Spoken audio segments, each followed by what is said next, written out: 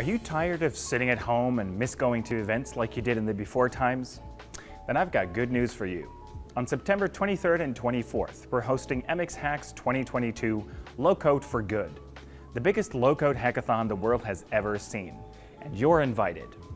Assemble a team of up to four hackers and join us in Boston, London, Rotterdam, or Singapore to hack your way to the top, supporting nonprofit organizations that focus on improving lives safeguard the environment, conquer disease, fight for justice, and advance other good causes in the world. Oh, and on top of that, you can join workshops, training sessions, meet and greets, and much more. And did I mention there's swag? There's swag, and it's pretty awesome. Enter your details at mendix.com slash mxhacks to be the first to know when registrations officially open up. Let's talk about app services. For those unfamiliar with app services, they are packages of pre-configured business capabilities provided as modules that contain logic, UIs, workflows, connectors, and APIs. As flexible building blocks that include out-of-the-box integration into the Mendix development experience, app services are designed to solve discrete business problems within the context of larger solutions. So let's talk about two app services we've recently released and updated. The first is the email service. Many apps need to send emails, and the marketplace has a couple of modules that help you do this. After listening to your feedback, it was clear that adding email functionality to your app should be as easy as drag and drop, with as little manual configuration as possible. On top of that, many of you told us you wanted more control and autonomy. So I'm happy to introduce the Communication Service Console a new place to manage your email services. For example, you can now resend a user's verification email through the console instead of having your users contact Mendix support. You can now also use the Service Console to change the email ID, which is tied to your subscription. We're also increasing the number of email IDs you get from 1 to 5, so you can use those for all your different email requirements with the same subscription. In order to increase the probability of email delivery, the correct email domain records need to be added to the server. Before, you had to get in touch with Mendix support to generate these records. Now, with a single click, all the records can be generated in the Service Console. Simply download the records and share them with your IT team. Download the latest version of the email app service from the marketplace to use these features right now.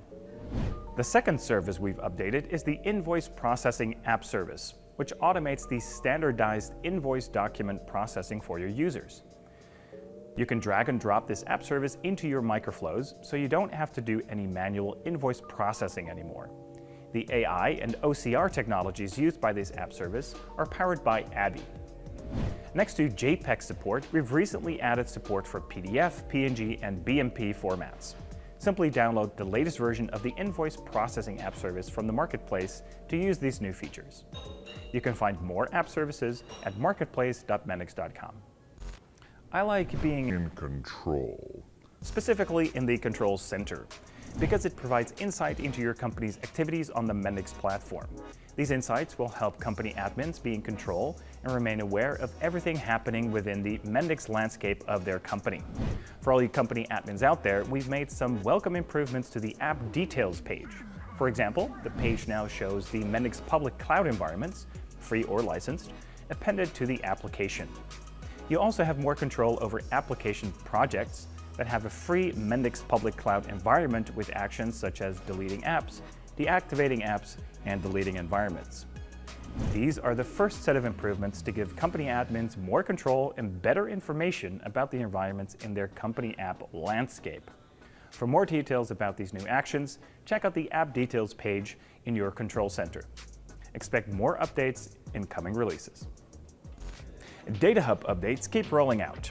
If you remember from last month, we added the option to delete data sources from the catalog through the UI. In this update, we've also added delete operations to the catalog registration APIs v4. This makes testing the API service a lot easier as it allows for experimentation and then removal of assets, thus allowing you to fully integrate all possible scenarios into your deployment pipelines when hosting Mendix on a virtual private cloud or when registering non-Mendix data sources in the Data Hub catalog. And that brings us to the end of this release video. For a full list of new features, improvements, and fixes, check out the release blog on mendix.com blog or read the release notes on docs.mendix.com. Download Studio Pro 9.14 at marketplace.mendix.com to use all these new features right now. If you enjoyed this video, I hope we've earned your like and subscribe. I'm Jan de Vries, your low-code host. Thank you for watching and see you in the next one.